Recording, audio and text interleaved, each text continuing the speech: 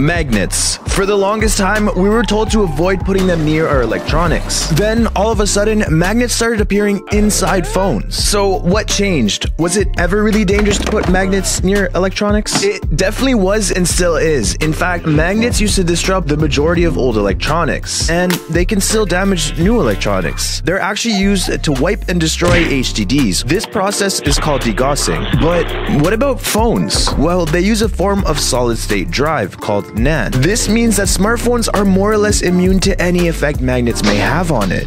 But magnets can still potentially disable things like your camera, your speaker. So think twice before you use